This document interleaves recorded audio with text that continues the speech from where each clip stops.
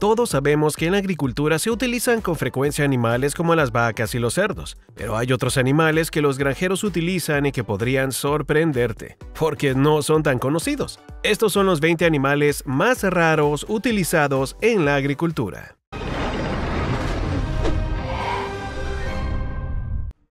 Número 20. Llamas y alpacas. Las llamas y las alpacas son camélidos, como los camellos y los dromedarios, y también son el mayor animal domesticado de Sudamérica. Y al igual que los cuadrúpedos, que son animales que caminan en cuatro patas, eh, piensa en los caballos o los toros, por ejemplo. En Europa y Asia, las llamas y las alpacas desempeñan un papel central y crucial en la vida económica, social y ritual de las civilizaciones sudamericanas del pasado. Los camélidos sudamericanos constituían una valiosa fuente de recursos. Su carne se consumía fresca o preparada.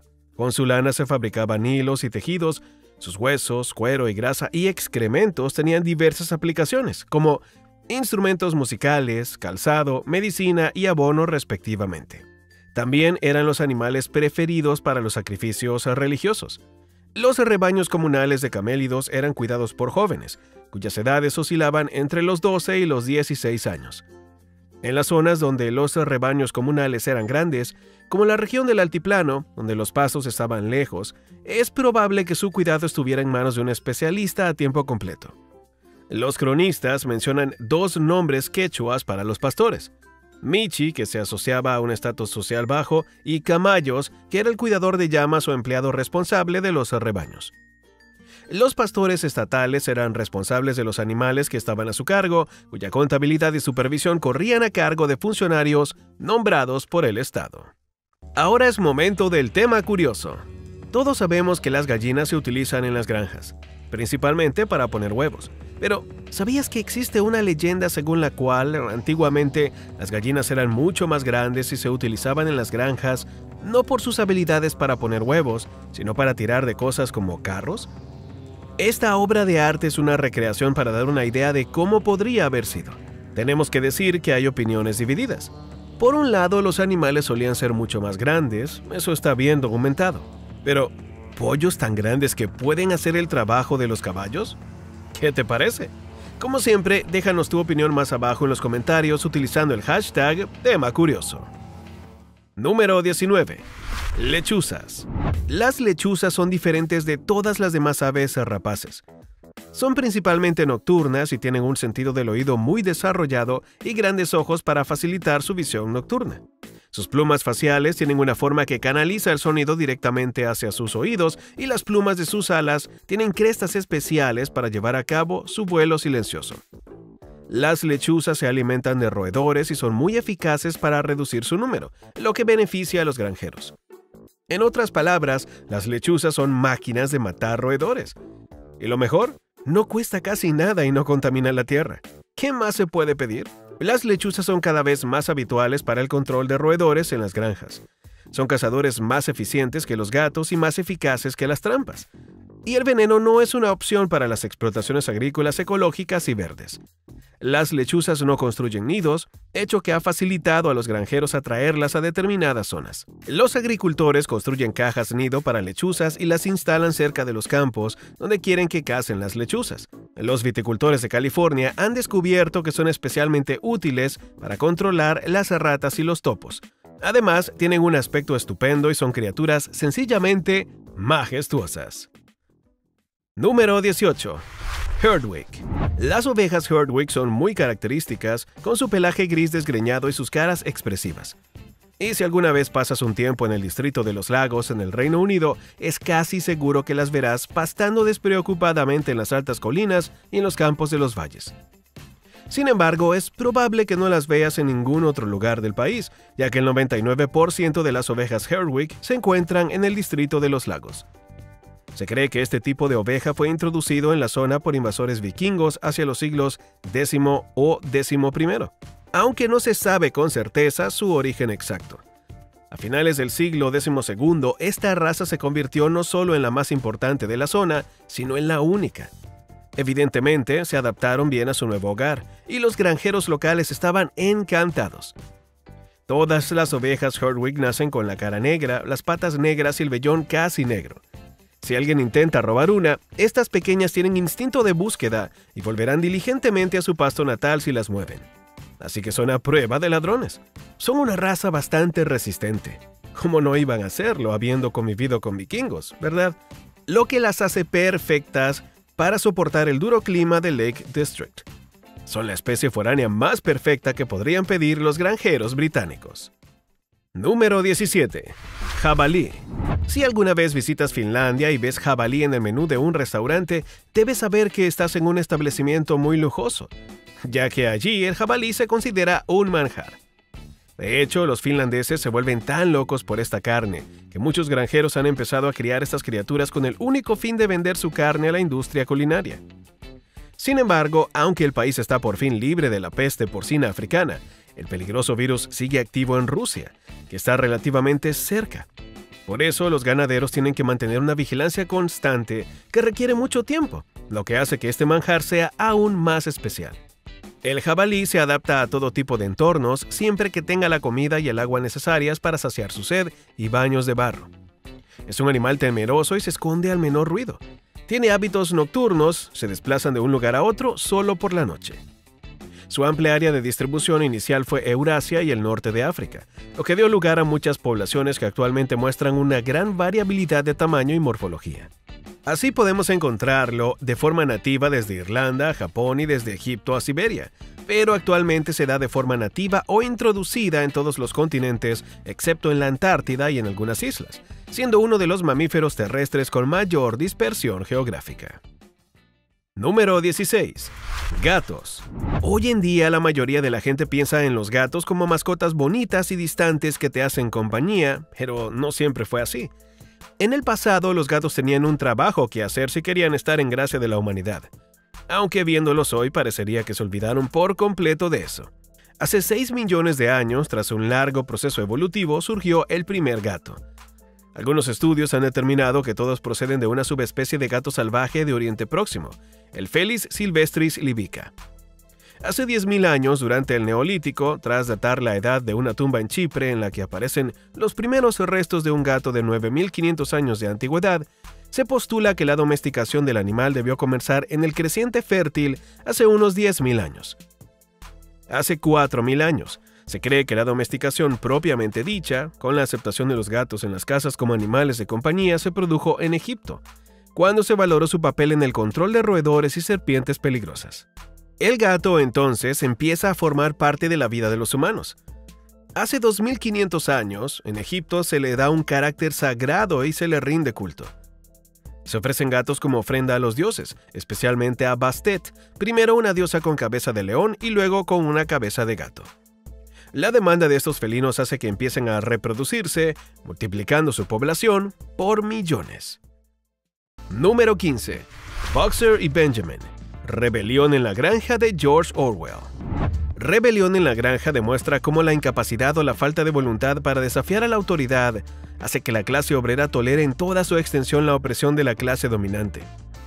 Una de las preocupaciones centrales de Orwell, tanto en Rebelión en la Granja como en 1984, es la forma en que el lenguaje puede utilizarse como herramienta de control. En Rebelión en la Granja, los cerdos cambian y deforman progresivamente la idea de la revolución socialista para argumentar su comportamiento y vigilar a los demás animales en la oscuridad. El lema principal de la granja puede destacarse claramente como todos los animales son iguales, pero algunos animales son más iguales que otros.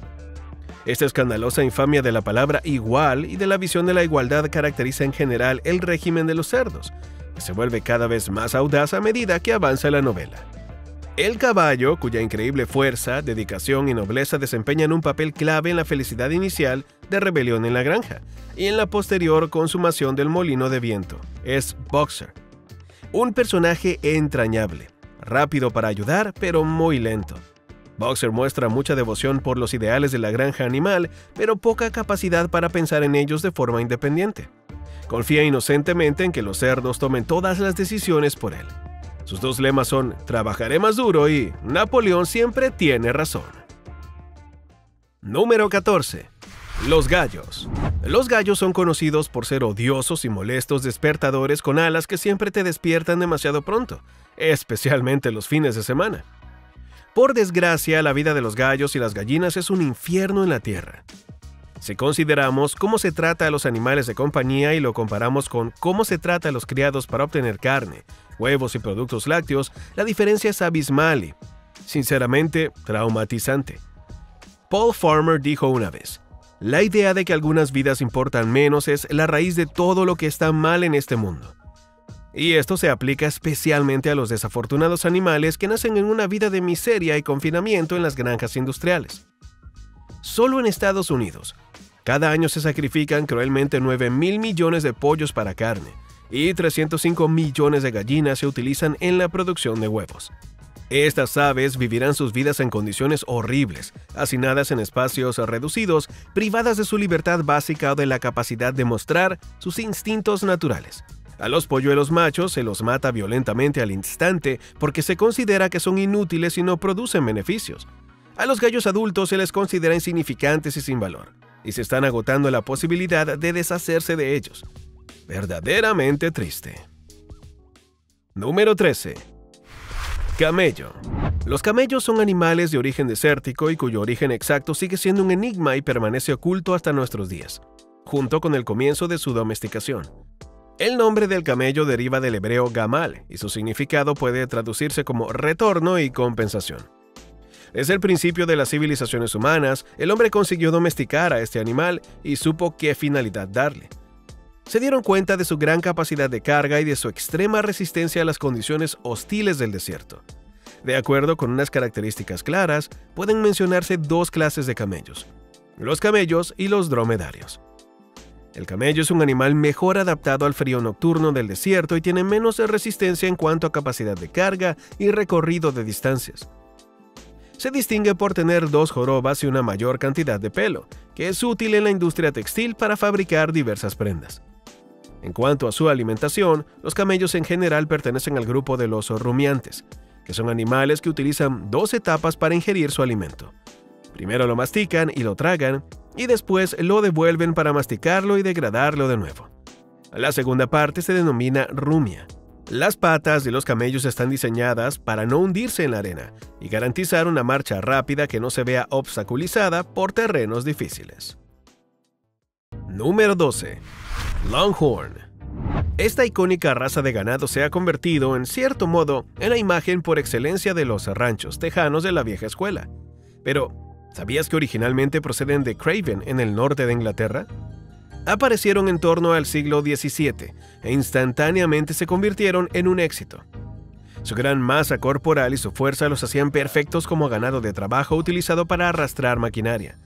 Y además, su carne y su leche eran deliciosas lo mejor de dos mundos. Y no te asustes por sus gigantescos cuernos, de donde les viene el nombre, esta raza de ganado suele ser súper amistosa. Hoy en día la raza Longhorn se sigue utilizando como ganado vacuno. Sin embargo, muchos ganaderos tejanos mantienen rebaños únicamente por su vínculo con la historia de Texas, y probablemente porque tienen un aspecto increíblemente atractivo. En otras partes de Norteamérica esta raza se utiliza para mucho más. Esta raza tiene un fuerte instinto de supervivencia y puede encontrar comida y refugio en épocas de mal tiempo. Seguro que los granjeros aprecian tener un ganado tan independiente y asertivo. También crían durante mucho tiempo, hasta bien entrada la adolescencia, lo que siempre es una gran ventaja. De hecho, ha habido vacas Longhorn que han criado hasta 30 años, y por lo visto son las mejores madres. Se han vuelto tan buenas escondiendo a sus terneros de los depredadores que a veces incluso a los ganaderos les cuesta llegar hasta ellos. Número 11. Caballo islandés. Hace más de mil años que llegaron los primeros colonos a este país. Es increíble que desde el siglo IX hasta el actual siglo XXI, un animal tan simpático haya sobrevivido prácticamente sin cambios. El caballo islandés ha sido desde entonces el mejor amigo y el mejor sirviente y fue en gran parte gracias a ellos que los primeros islandeses sobrevivieron a las duras condiciones climáticas de la isla del fuego y el hielo. Hace más de 900 años que el sabio pueblo de Islandia prohibió la importación de cualquier caballo de otros países y aseguró así la raza pura del caballo islandés. Hoy el número de caballos en Islandia asciende a unos 80.000 y se les puede ver pastando libremente por toda la geografía islandesa. La gente los adora por su personalidad y por sus cualidades excepcionales. Su estatura es pequeña, pero es un caballo muy fuerte. Mide 53 pulgadas de altura y es muy cariñoso. Los caballos islandeses son muy mansos, tranquilos y valientes. Tienen cinco formas de andar y una de ellas es exclusiva de esta especie. Se llama Tolt, que es una forma muy especial de correr. El jinete apenas se mueve. Es la forma más cómoda de montar a caballo. Los islandeses dicen que puedes llevar una taza de café y no desperdiciarás ni una gota, porque montar a caballo en Tolt es como estar en el sofá, totalmente cómodo. Número 10. Zorrillos. Para los que estén viendo este video y hayan sido rociados alguna vez por un zorrillo, saben que es horrible. Tanto que nadie quiere estar cerca de esas criaturas y los niños suelen huir en cuanto ven una en libertad. Pero estos apestosos bichitos blancos y negros pueden aportar grandes beneficios a las granjas. Para empezar, la mayor parte de su dieta incluye grandes cantidades de plagas de insectos que asolan las pesadillas de cualquier granjero. Así que ya sabes, un poco de mal olor ocasional es un buen negocio, supongo. También comen bayas, hojas y hierbas, que mantienen los cultivos limpios y agradables. Por otra parte, pueden ser bastante agresivos cuando sienten que sus crías están amenazadas y son portadores de todo tipo de enfermedades desagradables que no quieres tener cerca. Y si preguntas a un apicultor, este mantiene un conflicto constante con estos animales. Al parecer, su pelaje es lo bastante grueso como para que no les molesten las picaduras de abeja, y también disfrutan de su dosis diaria de azúcar, por lo que no tienen ningún problema en acercarse a una colonia de abejas y robarles la miel. En mi opinión, no es muy educado. Número 9. Cebú. Los cebúes, que los zoólogos consideran hasta ahora como pertenecientes a la única especie de B. indicus, solo se distinguen de los bóvidos taurinos por la joroba que tienen en la cruz. Su esqueleto no se ve alterado en absoluto por esta peculiaridad, al contrario de lo que ocurre con los bisontes. La joroba no está formada más que por un depósito de grasa. A partir de 1848 empezó a introducirse en Estados Unidos ganado cebú, primero procedente de la India, luego de Brasil y algunos de Sudáfrica. Se importaron las razas Nelore, Grusera, Gir y varias más. Todas estas razas se amalgamaron bajo la denominación genérica de Brahman, que más tarde fue aceptada oficialmente por el Departamento de Agricultura. En los registros que se abrieron, también se permitió la entrada de animales que, habiendo tenido sangre británica, eran continuamente servidos por toros importados y no tenían menos de 15 o 16 sangre de cebú. Al principio predominaba la sangre gusera, pero más tarde se intensificó la Nelore.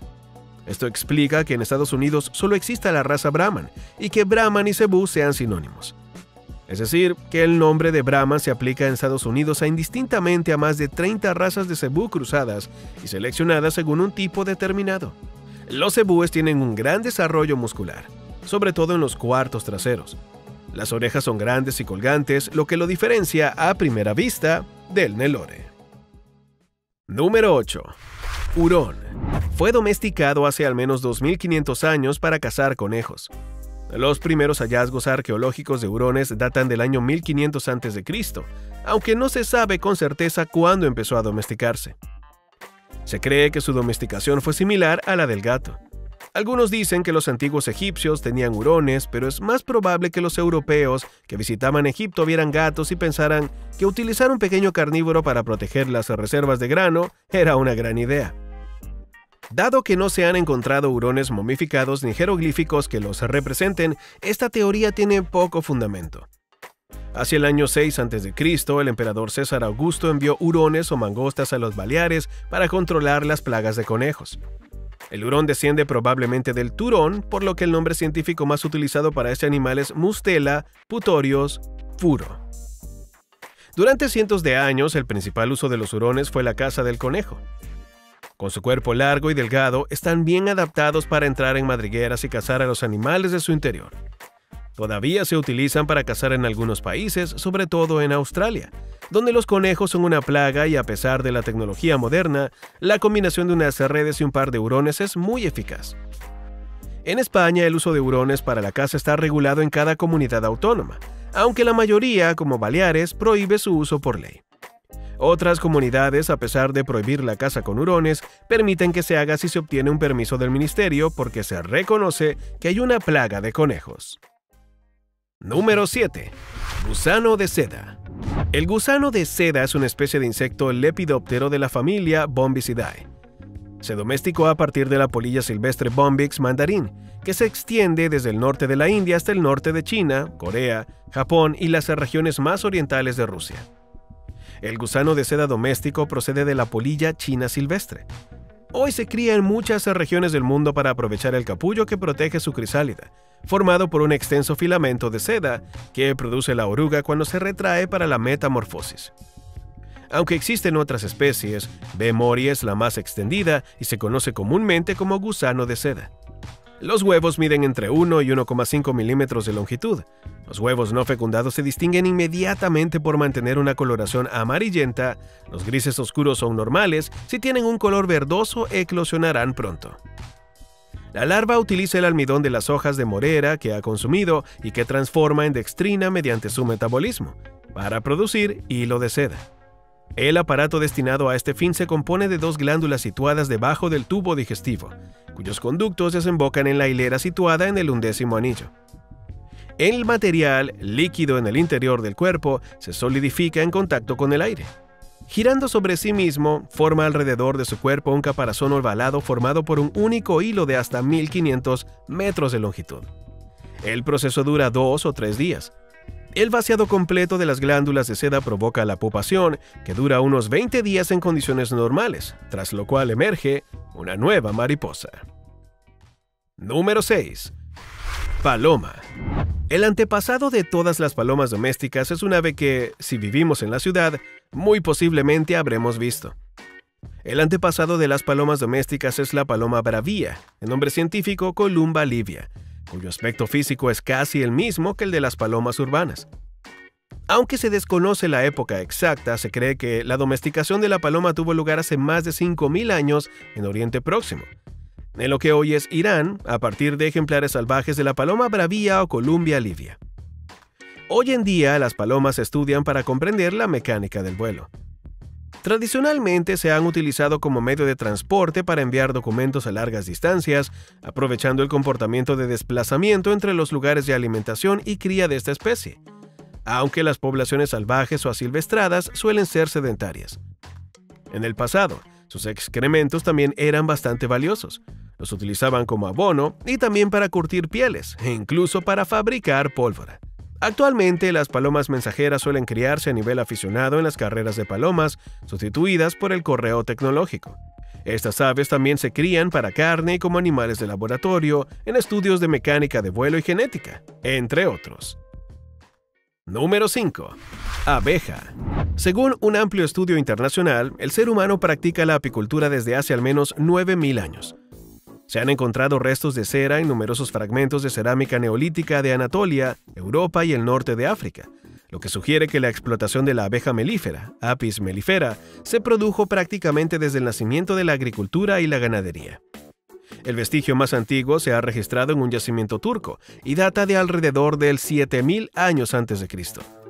El problema de estudiar la asociación entre abejas y humanos es que los insectos no dejan huellas fósiles, pero como la cera, producto indudable de la apicultura, es un compuesto estable, los investigadores han podido rastrear su presencia en 6.400 fragmentos de cerámica pertenecientes a 150 yacimientos.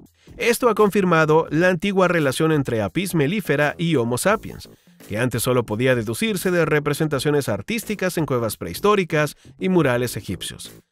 Los expertos creen que la primera razón para desarrollar la apicultura fue producir miel, un edulcorante con toda probabilidad muy apreciado en la prehistoria.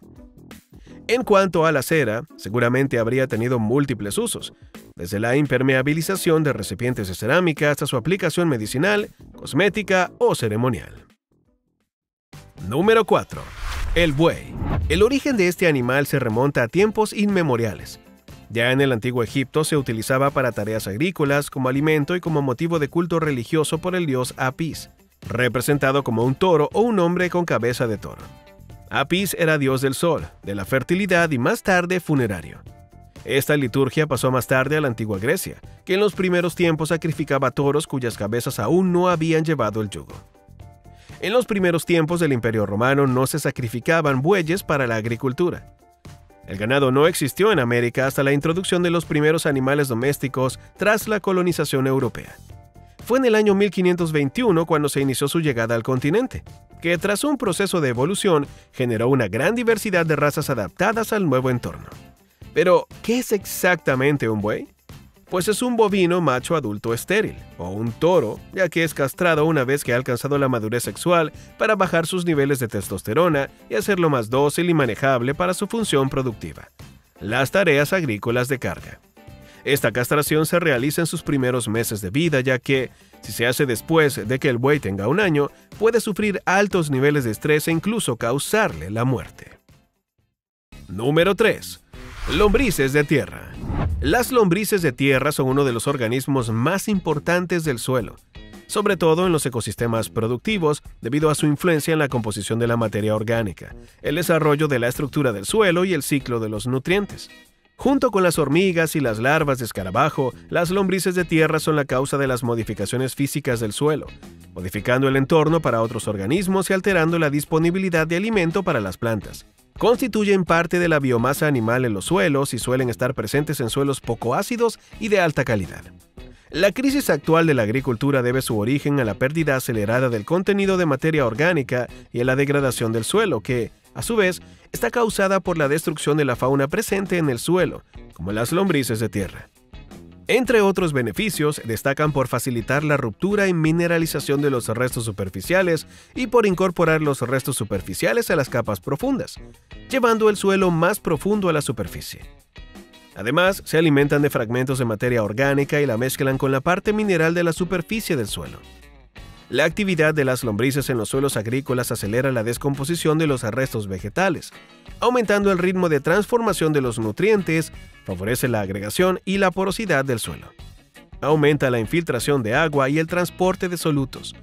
También aumenta la mineralización del carbono en el suelo. Número 2. Garceta. Además de ser muy agraciadas y delicadas, estas aves tienen serios beneficios para la agricultura. Son una especie cosmopolita de garza, familia Ardeidae, que se encuentra en los trópicos, subtrópicos y zonas templado cálidas. La garceta mantiene una relación especial con el ganado, de ahí su nombre común, que se extiende a otros grandes mamíferos herbívoros. Se cree que la expansión de la agricultura humana es una de las principales causas de su repentina e increíblemente rápida expansión. Esta graciosa ave elimina las garrapatas y moscas del ganado y las consume. Esto beneficia a ambas especies. Por otra parte, se le ha implicado en la propagación de enfermedades animales transmitidas por garrapatas. La garceta ha experimentado una de las expansiones naturales más rápidas y de mayor alcance de todas las especies de aves de la historia. Originalmente era nativa de partes del sur de España y Portugal, África tropical y subtropical y Asia tropical y subtropical húmeda pero a finales del siglo XIX empezó a ampliar su área de distribución al sur de África y se reprodujo por primera vez en la provincia del Cabo en 1908. Fueron avistadas por primera vez en América, en la frontera de Guayana y Surinam, en 1877, habiendo volado aparentemente a través del Océano Atlántico. Lo que parece una locura teniendo en cuenta lo pequeñas que son y lo largo que es ese viaje, en la década de 1930 se cree que la especie se estableció tanto en Norteamérica como en Sudamérica. Número 1. Zorro. Todos hemos oído las numerosas y válidas quejas de los agricultores contra los zorros, pero resulta que también tienen sus ventajas. Todo depende de tu punto de vista, por supuesto, pero nunca es prudente añadir valor a un animal, ya que existen al margen de las actividades humanas y siempre se producirán enfrentamientos. Forma parte de la vida. Los zorros han demostrado ser muy útiles para los agricultores, ya que proporcionan un excelente control de alimañas al alimentarse de ratones, ratas y palomas que pueden ser perjudiciales para los cultivos. También son muy buenos cazando conejos, que son difíciles de capturar y a veces pueden convertirse en plagas para los agricultores. Un estudio publicado en el European Journal of Wildlife Research demostró que los zorros rara vez o nunca comen alimento balanceado y al cazar a las criaturas que sí lo comen, hacen que los ganaderos ahorren dinero. Literalmente. Además, son hermosos y siempre es una alegría verlos en libertad. No solo son un gran aliado en el campo, sino también en las zonas urbanas. Llevan a cabo un servicio gratuito de limpieza de basuras comiéndose la comida desechada por, bueno, por nosotros. Como puedes ver, todos los animales tienen cualidades diferentes que pueden ser útiles para muchas cosas distintas. ¿Y tú, has tenido algún enemigo del reino animal y cómo has conseguido resolver tu problema? Cuéntanos en los comentarios. Además, echa un vistazo a otras cosas interesantes que aparecen en la pantalla ahora. Hasta la próxima.